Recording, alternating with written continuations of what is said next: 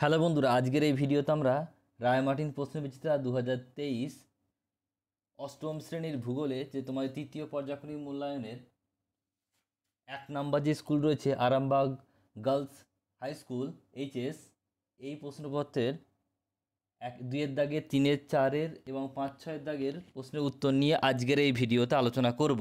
তো চলো ভিডিও শুরু করা যাক। দেখো, একের দাগে প্রশ্ন বলছে স্কুল নাম্বার ওয়ান বলছে Arambagh girls high HS school. দেখো, একের দাগে রয়েছে তোমাদের মানচিত্র। তো এটা আমি আর করাচ্ছি না, দুই দুয়ের দাগ থেকে করাচ্ছি, দেখো। বলছি, বিকল্পগুলি থেকে সঠিক উত্তর নির্বাচন করে লেখো। দুয়ের দাগের একেরটা বলছে, ভূপৃষ্ঠ থেকে পৃথিবীর কেন্দ্রের দূরত্ব হলো। অপশান নাম্বার এ সঠিক উত্তর হবে, তিন, ছ হাজার তিনশো সত্তর কিমি। নেক্সট প্রশ্ন দুয়ের দাগের শিয়াল ও সীমা স্তরের মাঝে অবস্থিত বিযুক্তি রেখাটি হলো অপশান নাম্বার এ বলছে কনরাড বিযুক্তি রেখা এরপর রয়েছে তিনের দাগের প্রশ্ন, বলছে গানাইট আগ্নেয় শিলা কোন ভূতক গঠন করে? অপশান নাম্বার বি, মহাদেশীয় ভূতক নেক্সট প্রশ্ন রয়েছে চারের দাগের, অধিক উচ্চতার এক প্রকারের মেঘ হলো অপশান নাম্বার ডি, বলছে সিরো স্টাইরাস নেক্সট প্রশ্ন বলছে পাঁচ নাম্বার প্রশ্ন, মেঘের মধ্যে জলকণাগুলির গড় ব্যাস হলো অপশান নাম্বার সি সঠিক উত্তর হবে zero point zero two millimetre. এরপর রয়েছে ছয় দাগের প্রশ্ন, ক্রান্তীয় শীতকাল দেখা যায়? অপশান নাম্বার ডি, নিরক্ষীয় জলবায়ুতে। এরপর রয়েছে সাত নম্বর প্রশ্ন, গুজরাটের গির অরণ্য বসবাসকারী প্রধান প্রাণীটি হলো? অপশান নাম্বার বি সঠিক উত্তর হবে সিংহ। নেক্সট প্রশ্ন বলছে সাতের, আটেরটা আর্থ সামিট সম্মেলনটি অনুষ্ঠিত হয়? অপশান নাম্বার বি সঠিক উত্তর হবে উনিশশো বিরানব্বই সালে। নেক্সট প্রশ্ন বলছে, উত্তর আমেরিকা মহাদেশের দীর্ঘতম নদীটির নাম option number B, Mississippi, Missouri.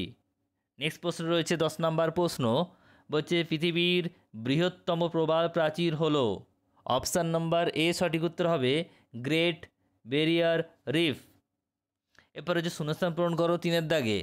শূন্যস্থান পূরণ করো এক একটা বলছে, পৃথিবীর গড় তাপমাত্রা হলো ড্যাশ সেলসিয়াস, উত্তর হবে পনেরো ডিগ্রি সেলসিয়াস।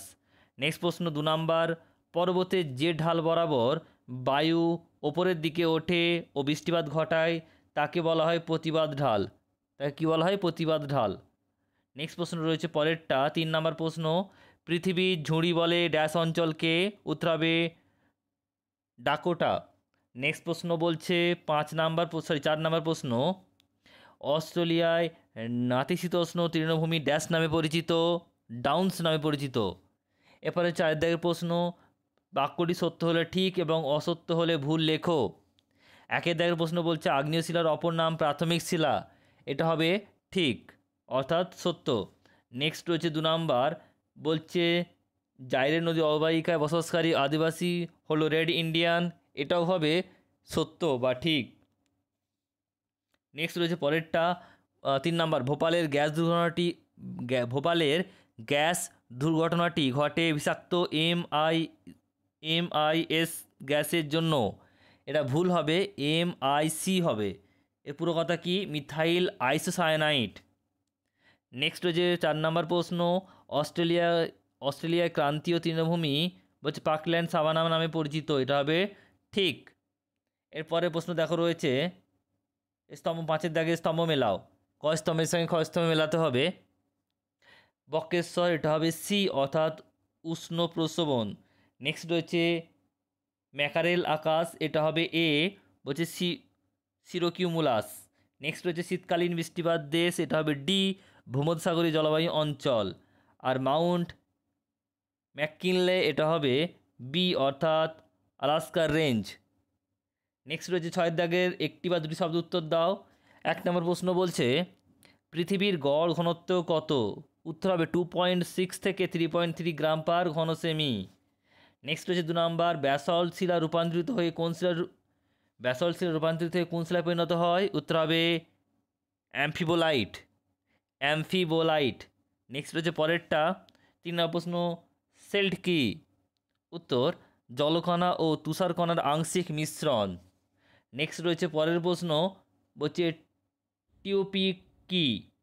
উত্তর হবে শিলা শিল মাছের তৈরি সরি শিল মাছের চামড়ার তৈরি তাঁবুকে বলে বলছে টিউপিক বলে। নেক্সট প্রশ্ন বলছে ভূমধ্যসাগরীয় জলবায়ু অঞ্চলে জন্মায় এমন দুটি গুল্ম জাতীয় উদ্ভিদের নাম। উত্তর হবে লরেল আর রোজমেরি। নেক্সট প্রশ্ন বলছে, ছ নম্বর, স্থিতিশীল উন্নয়ন কাকে বলে? উত্তর, এমন এক ধরনের উন্নয়নের পদ্ধতি যার উদ্দেশ্যে, যার উদ্দেশ্য বর্তমানে প্রাকৃতিক সম্পদের সুষ্ঠু ব্যবহার ও উন্নয়নের সাথে সাথে ভবিষ্যতের মানব সমাজের উন্নয়ন অগ্রগতি অব্যাহত রাখা। নেক্সট প্রশ্ন বলছে, সাত নাম্বার, পৃথিবীর কসাইখানা কাকে বলে? উত্তর হবে শিকাগো। নেক্সট প্রশ্ন বলছে আট নাম্বার, বলছে মেলানেশিয়ার অন্তর্গত দুটি দ্বীপের নাম লেখো। উত্তর হবে হাওয়াই আর কুক। তো এই ছিল তোমাদের এক নম্বর স্কুলের প্রশ্ন। যদি ভিডিওটি ভালো লাগলে লাইক করে দিও। আর চ্যানেল নতুন হলে চ্যানেলটি সাবস্ক্রাইব করে পাশে থাকা বেল আইকনটি প্রেস করে নোটিফিকেশান অন করে দাও। এভাবে পরপর ভিডিওগুলো আসতে থাকবে তোমাদের থার্ড টার্ম অর্থাৎ ফাইনাল পরীক্ষার জন্য।